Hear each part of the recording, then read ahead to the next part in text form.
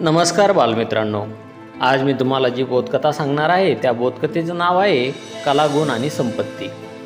विष्णुकुमार आणि सोमनाथ यांच्यामध्ये एकदा पैज लागली की संपत्ती ही शौर्याने प्राप्त होत असते. दुसऱ्याचा पराभव करून संपत्ती बळकावल्याशिवाय पैसा येत नाही पण सोमनाथला हे पटत नव्हते. बळाच्या साह्याने संपत्ती मिळते हे मला मान्य नाही असे तो आग्रहाने म्हणत होता.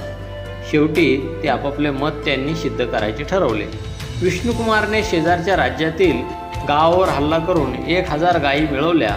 सोमनाथने आपल्या शौर्याची कहा सोमनाथला आपल्या शौर्याची कहाणी सांगून हजार गायीचे पशुदान मिळवल्याच्या अभिमानाने सांगितले. सोमनाथने ते ऐकले पण तो काही बोलला नाही. दुसऱ्या दिवशी ते नेहमीप्रमाणे गावाच्या बाहेर एकांतात गात होता.